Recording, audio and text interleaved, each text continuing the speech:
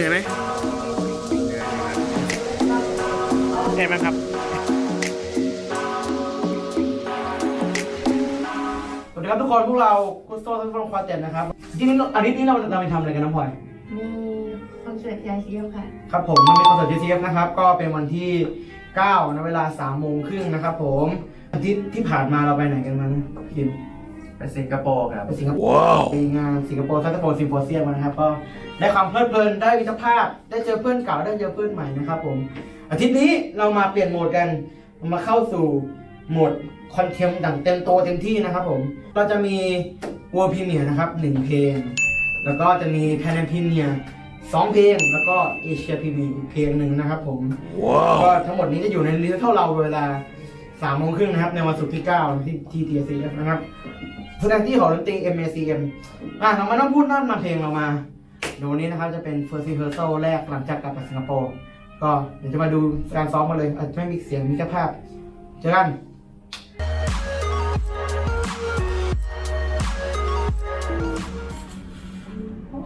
ตอนแรกถามก่อนร้องบนแฟนหรือว่าอะไรหรือไม่บนเอามันใส่แบบฟังแล้วแบบโรว์อะ ครับ สวัสดีครับ เอ่อแนะนำตัวหน่อยครับ ก็สวัสดีครับชวินนะครับเป็นสิทธิโชค ตอนนี้เป็นนักแต่งเพลงอิสระในกรุงเทพก็สำหรับเพลงนี้นะครับของเฟสแต่งขึ้นมาเพื่อ Gusto Saxophone Quartet เพราะเป็นผมเพราะว่าเราก็มีสัมพันธ์ที่ดีกันมาตั้งแต่ตั้งยาวนานตั้งแต่สมัยเป็นนักเรียนอยู่ ก็เพลงนี้นะผมได้แรงบันดาลใจมาจากความสัมพันธ์ของมนุษย์ที่มีกับพวกเทคโนโลยีแล้วก็ สิ่งของอิเล็กทรอนิกส์ต่างๆก็ใส่ว่าเสียงเวลาเวลาที่เราทำงานกับพวกคอมพิวเตอร์เนี่ยทำงานกับสิ่งที่มันจับต้องไม่ได้เช่นพวกไฟล์พวกแบบโค้ดรหัสอะไรต่างๆ ซึ่งผมก็พยายามคิดว่าแบบเวลาที่ไฟล์พวกนี้เนี่ยมันสื่อสารกันในระบบคอมพิวเตอร์เนี่ยมีเสียงยังไงก็พยายามที่จะถ่ายทอดมันออกมาในในรูปแบบของเพลงนะครับซึ่งคิดว่า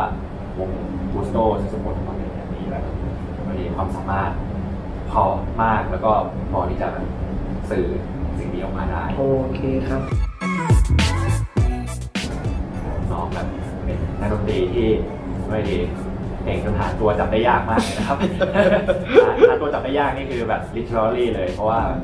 เออสลางแน่นจริง ครับผม น้องก็แบบมีความพยายามที่จะแบบตีความแล้วก็อ่าพยายามฝึกเทคนิคต่างๆ ที่ผมเขียนมาซึ่งบางอย่างมันก็ยากเหลือเกินนะครับแต่ว่าน้องๆก็มีความพยายามที่จะสามารถทำได้ ก็ RTICF นะครับ Thailand International Composition Festival นะครับอะก็เป็นเทศกาลดนตรีสมัยใหม่ ซึ่งมีปีละครั้งนะครับที่มองไม่ดนซึ่งคิดว่างานนี้เป็นงานที่ดีมากจะเป็น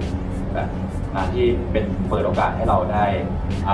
รับรู้แล้วก็ได้ฟังดนตรีใหม่ๆของคนจากทั่วโลกนะครับซึ่งเป็นอะไรที่เปิดทั้งรสนิยมในการฟังแล้วก็แบบวัฒนธรรมด้วยนะ Hi, so my name is Jean-Patrick Bezenfant. I'm a composer from France, currently living in America. Okay, so this piece is my first saxophone quartet. A very important piece for me. Uh, a piece I wrote when I was still living in Bordeaux. This piece explores the sound of the saxophone. It's based on the sound of the air. In Bordeaux, it's quite a rainy city and windy city. And I was inspired by, by the sound of the wind that I heard from my apartment. So from this air sound, little by little we have pitches that start to appear and it's developed to a very dense texture to go back to the window.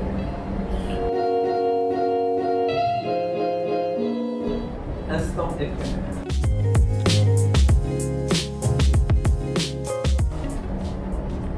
It's so easy working uh, Gusto Saxophone Quartet because I feel a bit useless. I don't have anything to say. It's like you guys are reading my mail, so Okay, that's good. So thank you, and then so thank you for coming to TSCF, and then also we are so thank you to have you working with us, and then give us an Asian premiere of the piece. So please say goodbye to the camera. So, uh, Thank you very much for your inspiring performance and look forward for the third section contest. Okay. Thank you. Bye bye. Thank you. Bye.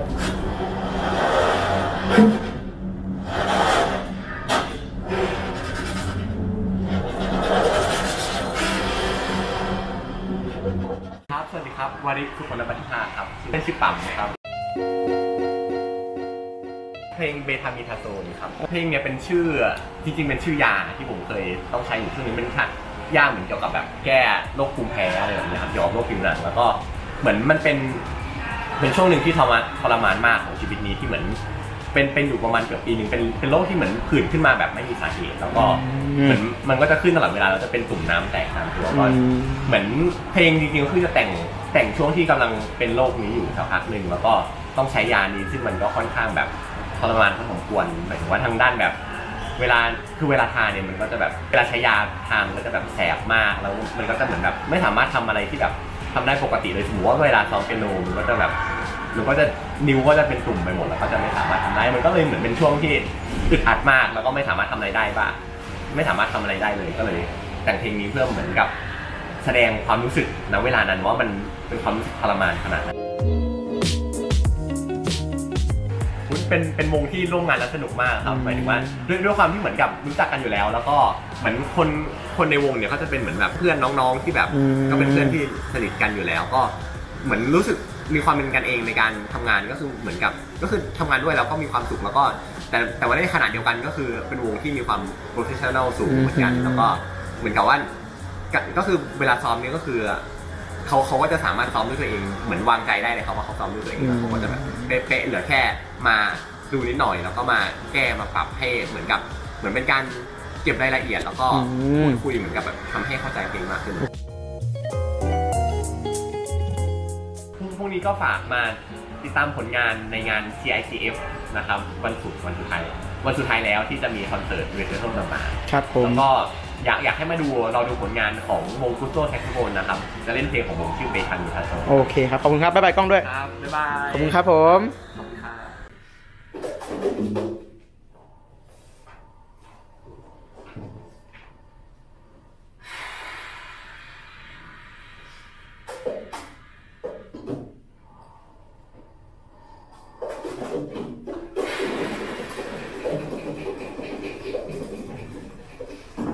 วัสดีค่ะ ชื่อชุดาลักษณ์พี่นันค่ะ เป็น composer ของเพลง d i l u x ที่จะเล่นในวันนี้ค่ะ